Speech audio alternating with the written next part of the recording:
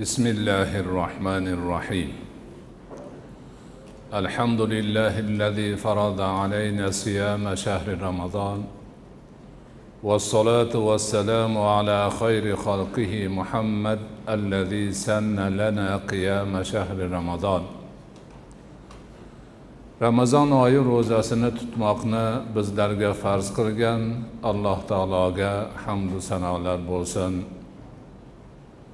ramazon oyi kechalarini bedor o'tkazmoqni bizlarga sunnat qilgan rasuli akram muhammad mustafoga salovat va salomlar bo'lsin اللهم لا سهل إلا ما جعلته سهلا وإن شئت جعلت الحزن سهلا بقدرتك يا أرحم الراحمين السلام عليكم ورحمة الله وبركاته الله سبحانه وتعالى boshimizda soyabon bo'lib turgan o'n ikki oyni sultoni bo'lgan muborak ramazon oyini xayrli barakotli bo'lishini nasib etsin. Bu oyni kunduzlarini ro'zasini tutib gunohlarimizni mag'firat bo'lishiga erishishimizda alloh taoloning o'zi yordamchi bo'lsin. Bu muborak oyni kechalarini taroveh namozlarida bedor o'tkazib yana ko'p bir ajr savoblarni olishimizda alloh taoloning o'zi madadkor bo'lsin. Shu bilan birga bu muborak oyni barakotlaridan yana biri bugungiga o'xshagan ma'rifiy suhbatlarni bo'lishi. Dinimiz shariatimiz qur'onimiz diyonatimizni yana ham chuqurroq o'rganib borish harakatimiz bo'ladi. Alloh taolo bu harakatimizga ham barakot bo'lgan bo'lsin bergan bo'lsin. Bu yilgi ramazon oyida allohning zikri ila qalblar orom topur degan mavzuda turkum suhbatlarini o'tkazmoqdamiz. Bugungi suhbatimiz avvaldan boshlab kelgan suhbatlarni davomi bo'ladi. Avvalda farz vojib sunnat ibodatlarni mukammal ravishda o'rniga qo'ygandan keyin alloh taologa yana ham yaqinroq bo'lish niyatida nafl ibodatlarga o'tib zikrni o'ziga kasb qilish nihoyatda fazilli ish ekanligi zikrning ta'rifi undan ko'zlangan maqsad qalbni poklash ekanligi qalbni doim alloh taologa bog'lab turish ekanligi va shunga o'xshagan ko'pgina o'zimiz uchun kerakli bo'lgan suhbatlarni qildik. Bugun esa zikrni o'zi haqida so'z yuritamiz. Mashoyihlarimiz zikrni o'zi haqida so'z yuritar ekan zikr xafiy va jahriy bo'lishi to'g'risida kelishganlar. Ya'niki zikrni ado etmoqchi bo'lgan inson ikki turdan birini tanlash ixtiyorida. Buni tanlashni tariqatlarni mashoyihlari yo'lga qo'yishgan. Kim qaysi tariqatga kirsa o'sha tariqatni uslubida zikr qiladi. Zikrni xafiy degani maxfiy degani ya'niki ovozini chiqarmasdan ichida zikr qilish bo'ladi. Jahriy degani oshkora zikr qilish. Zikr lafzlarini talaffuz qiladi ovozini chiqaradi o'zi ham eshitadi o'zgalar ham eshitadi. Bizni diyorimizda keng tarqalgan tariqat naqshbandiya tariqatida zikrning maxfiy turini tanlangan. Bu tariqatdagi zikr hammasi maxfiy bo'ladi.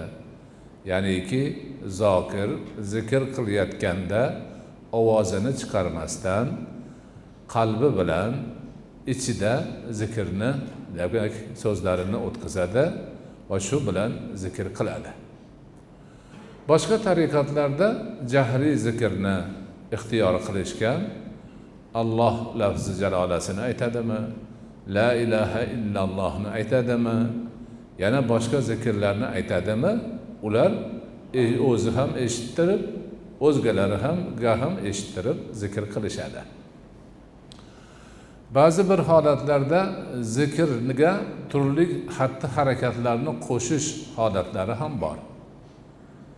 Maxfiy zikrda u yo'q maxfiy zikrda zokir tahoratli bo'lib qiblaga qarab yaxshilab o'tirib iloji bo'lsa namozda o'tirgandek o'tirib boshini egib butun e'tiborini bir joyga to'plab qalbini qanday turganidan voqif bo'lib keyin o'sha qiladigan zikrini lafzlarini tili bilan dili bilan qalbi bilan takrorlaydi. Jahriy zikr qiladiganlar esa ana shu aytilayotgan talaffuzni ovoz chiqarib qilishadi. Ba'zi holatlarga o'sha ovoz chiqarishga turli harakatlarni ham qo'shadigan holatlari bor. Ba'zi holatlarda ana shu harakatlar haddidan oshib ketish darajasiga yetish ham mulohaza qilinadi. Ba'zi bir nodir nimalarda hattoki o'sha o'zini u yoq bu yoqqa urish holatlari bor o'ziga igna yoki bir narsalarni sanchish holatlari bor. Bular albatta sunnatga to'g'ri kelmaydigan harakatlar hisoblanadi.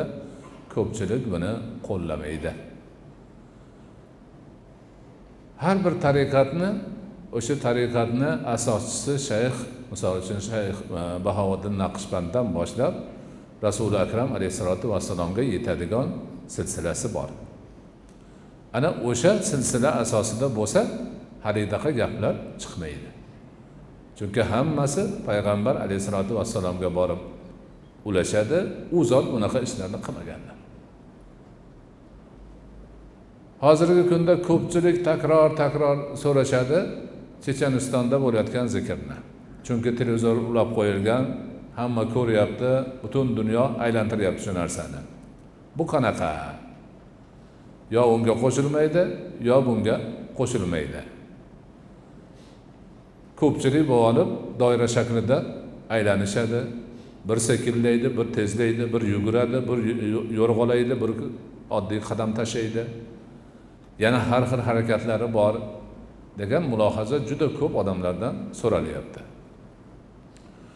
O'zi aslida e, chechen xalqi musulmonlari qodiriya tariqatida.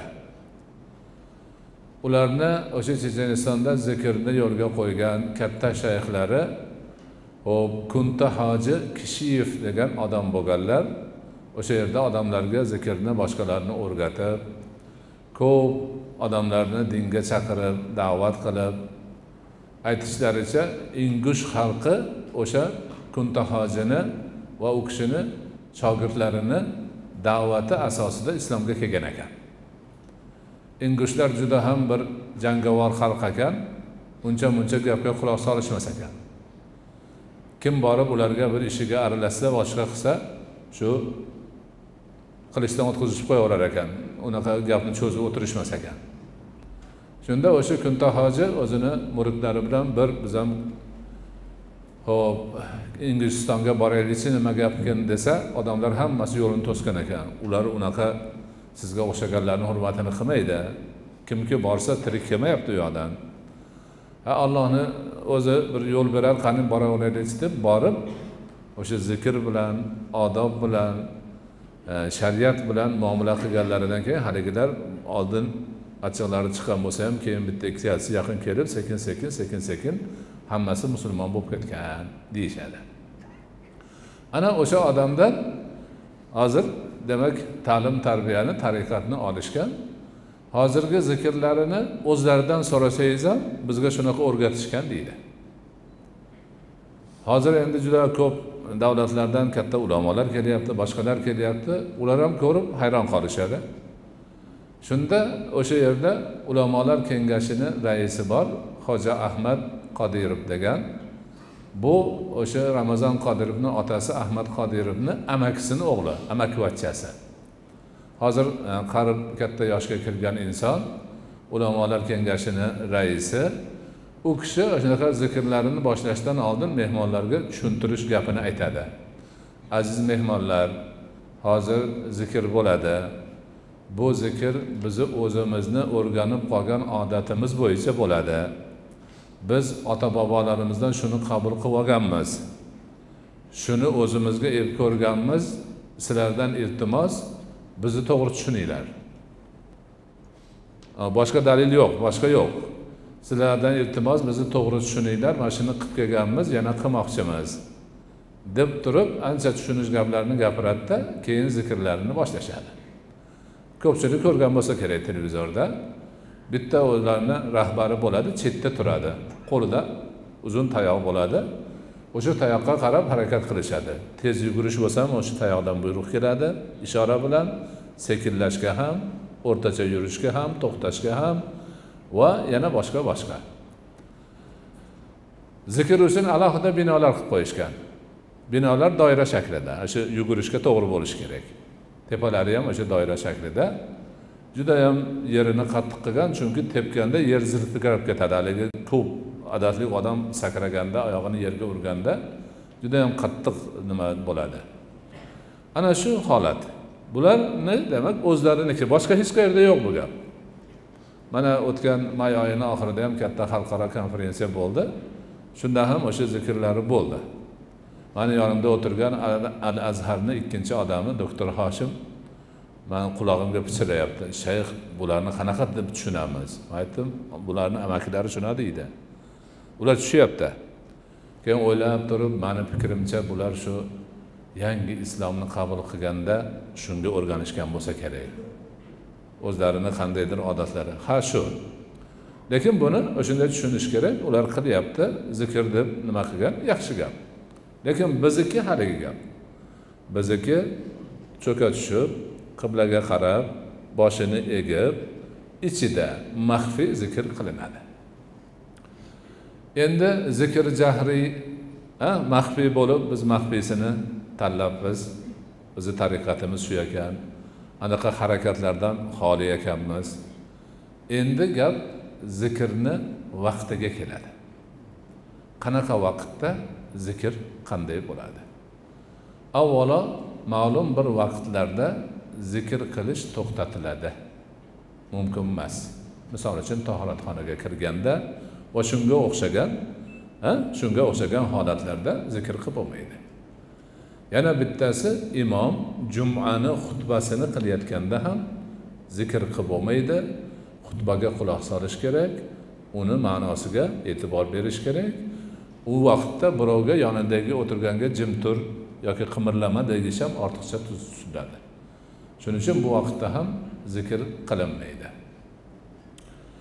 Qolgan vaqtida zikrni ruxsati bor lekin alohida alohida qilinadigan zikrlarni iloji boricha afzal paytlarda qilishga tavsiya bor.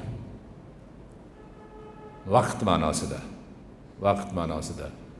Misol uchun tong chog'i sahar chog'i juda ham yaxshi vaqt hisoblanadi.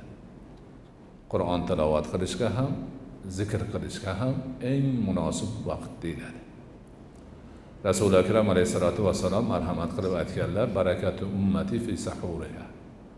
Mani ummatimni barakasi sahargezligida shuning uchun u zoti va barakot sahobalarga ham tavsiya berar edilar. Bir ish boshlasalar saharda bomdoddan keyin boshlashar edi. Tojir sahobalar tijoratlarini karvonlarga yuklab e, bozor tarafga boshqa yurtlarga jo'natadigan bo'lsa ham sahar jo'natishar edi. Hozirgi kunni saharlik vaqtlari ham eng barakotli vaqtlar. Eng barakotli vaqtlar.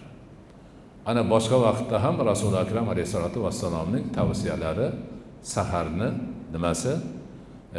Fursatini g'animat bilish borasida bo'lardi. Alloh taolo qur'onda shu mo'min musulmonlar zokirlarni maqtovida shaytonir va bil ashari hum yastag'firun ular undoq fazilatli zotlar bundoq fazilatli zotlar deb turib saharlarda ular istig'for ayturlar. Astag'firullohni saharda ko'p aytadilar. Demak sahar chog'i zikr uchun nihoyatda qulay yaxshi. Namozi ham shu qiroati qur'oni ham shu hammasi yaxshi. Lekin ming afsuslar bo'lsinki hozir bizda turmush tarzi bir oz o'zgarganligi oqibatidami? Odamlar kechasi uxlamay saharga uxlashga o'rganishib qolyapti kechasi o'n ikkida ham sanqib yurishgan bo'ladi. Bomdod vaqti kelganda nega uyqusi kelib chala bula o'qiydi bomdodda yoki o'qiy olmasdan uxlab qolyapti.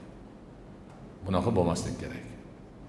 Bomdodda vaqtida turib iloji bo'lsa ertaroq turib o'sha bomdodni vaqtidan oldin istig'forni ko'proq aytib bomdodni o'qigandan keyin o'sha o'tirib oyog'ini yozmasdan zikrlarni qilib kun chiqquncha turish fazilatlidir. Hamma ulamolar ittifoq qilgan. Bomdodni o'qigandan keyin quyosh chiqquncha bo'lgan vaqtda uxlash makruhdir mumkin emas deyilgan quyosh chiqqandan keyin ikki rakat shuruq namozini o'qib keyin mayli uxlasa. Demak haligi fazilatdan bebahra bo'lmaydi ko'pgina barakotlarga ega bo'ladi. Ulug'larimizda shu holat bo'lgan. Ato ibn abu raboh o'zlarini davrlarida juda katta tobiinlardan bo'lgan olim zotlardan bir karvonda ketishayotganda cho'lda karvonni yo'lini bir gala sherlar to'sib chiqib qoldi. Sher arslon. Shundoq odamlar bilan arslonlar bir biriga qarab qimirlamay qoldi deydi. Kim qimirlasa shunga arslon o'zini otishi xavfi turibdi deydi. Turishaveribdi turishaveribdi ular ham bular ham turavergan. Tong otganda keyin sherlarni kattasi burilib yurib ketganda orqasidan boshqalari ergashgan. Shunda hamma apil tapil o'tirgan joyida boshini qo'yib boshlaganda ato ibn abi raboh roziyallohu anhu yana qiblaga qarab zikrda davom etganda shogirdlari kelib ta'sir juda qattiq charchab ketdingiz biroz yonboshlab olsangiz desa e nima deyapsan san hozir sahar vaqti qanaqa yonboshlaydi odam? deganlar. Ana mana shu narsani biz yaxshi o'zlashtirishimiz kerak fursatni g'animat bilishimiz kerak. Shunga o'xshash muharram oyini birinchi o'n kunligi ham zikrning eng qulay fursatlaridan hisoblanadi. Va mana shunga o'xshagan bir qancha vaqtlar bor. Haligi vaqtlarni demak zokir yaxshi tartibga solib ana shu vaqtda ko'proq zikr qilish paydan bo'lishi kerak bo'ladi. Shuningdek makonda ham. Misol uchun haramaynda makka mukarramada kaba e, ya'ni harami sharifda masjidi nabaviyda shunga o'xshagan joylarda zikrlar qabuli ko'p savobi ko'p ajri ko'p. Masjidlarda shunga o'xshagan yaxshi e, makonlarda zikrni ko'proq qilishga o'tish kerak bo'ladi. Bu ham o'sha mashoyihlarimizni kattalarimizni zikrni yo'lga qo'yish payidan yurganlarga qilgan nasihatlari e, ko'rsatmalarini demak turlaridan hisoblanadi.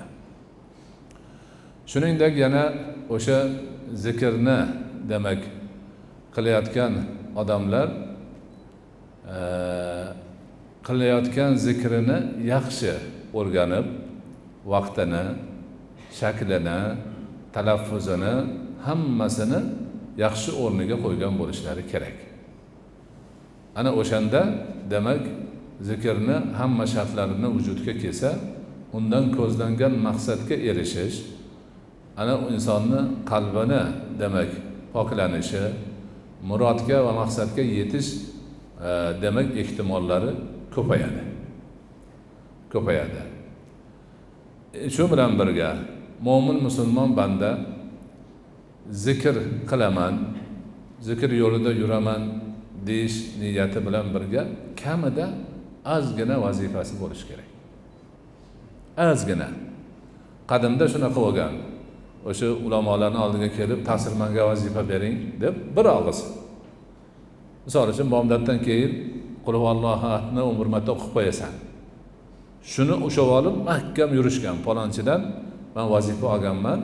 Vazifamni bajaraman deb har kuni bomdoddan keyin o'sha vaqt ajratib o'tirib shuni o'qib yurgan kimgadir yana holatiga qarab vaziyatiga qarab mashoyihlar yana bir narsani aytishgan. Ana eng kam miqdordagi virdi vazifasi har bir odamniki bo'lishi kerak. Undan ko'pi insonni himmatiga qarab imkoniga qarab o'zini rag'batiga qarab ketaveradi. Uni ulamolarni maslahat qilib shayxi bilan maslahat qilib haligi ko'paytirish yana allohga yaqinroq bo'lish istagi hammasi bo'lsa u bo'laveradi maslahat bilan. Lekin ommani gapirganimizda har bir insonni hech bo'lmasa ozgina vazifasi bo'lishi kerak. Kamgina vazifasi bor. Ana shuni qilib yursa doim allohga bog'lanib turadi. Doimo olloh uni ko'rib bilib turganligini yodida tutib turadi. Va katta xayr barakalarga sabab bo'ladi. Ana o'sha ma'noda demak e, tasavvuf ilmida virdlar degan tushuncha bor. Virt degani mana shu har bir zokirga beriladigan zikr bo'yicha vazifalar hisoblanadi. Bu vazifalar qandoq bo'ladi qandoq tartibga solinadi bularni inshaalloh kelasi suhbatlarimizda e, bayon qilishga harakat qilamiz. Alloh subhanahu va taolo hammalarimizni zikrni turini yaxshi tanlashni vaqtini yaxshi tanlashni makonini yaxshi tanlashni qalbimizni pokiza bo'lishini pok bo'lgan qalblarda allohning muhabbatidan boshqa muhabbatga joy qolmasligini nasib etsin. Doimo xayr barakali va bardavom bo'lib allohning roziligini topib qiyomat kunida o'zining jamoliga muyassar bo'ladigan bandalardan bo'lishimizni nasib etsin. Va sallallohu taala ala xayri xalqihi muhammad va ala alihi va ashabihi ajmain. Bi rahmatika ya